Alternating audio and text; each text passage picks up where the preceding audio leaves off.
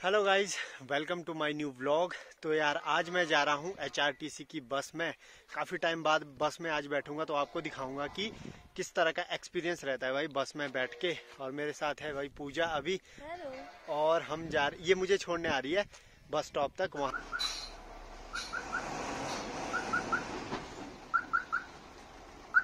सो so, दोस्तों यार इस पॉइंट से मैं अपनी जो आज की बस जर्नी है वो शुरू करने वाला हूँ। यहाँ लगा हुआ था यार जाम जिस वजह से बस अपनी नहीं मुड़ पा रही थी। भाई जरा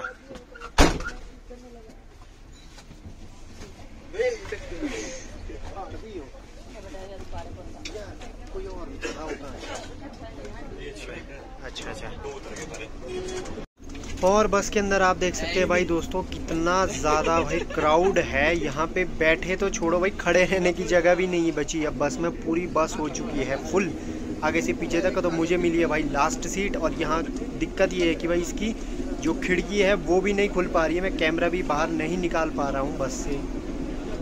तो यार, पीछे का व्यू तो कुछ इस तरह से आ रहा है दोस्तों। और आगे देखो आप, आगे कुछ भी सही से दिखाई नहीं दे रहा है यार, भीड़ लगी है।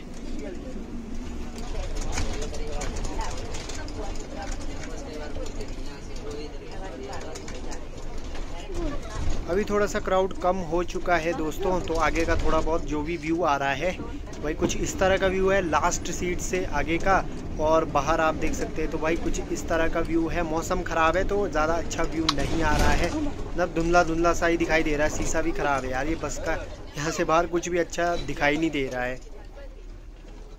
और यार यहाँ पे आप देखो भाई बस की स्पीड कितनी ज़्यादा है भाई। चढ़ाई वाले रास्ते पे पूरी खींच रखी है उस्ताद जी ने तो खतरनाक वाली बस देखो आप। भाई।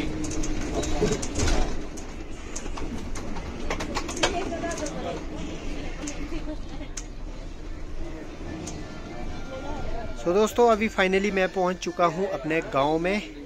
और यहाँ आप देखो भाई, बस मोड़ने में इतनी ज़्यादा दिक्कत आती है, पीछे लगा है ट्रांसफार्मर तो गाड़ी बैक करना भी मुश्किल हो जाता है। अगर थोड़ी बहुत गाड़ियाँ लग जाए यहाँ पे तो बस मुड़ने में बहुत ज़्यादा दिक्कत होती है यार भाई।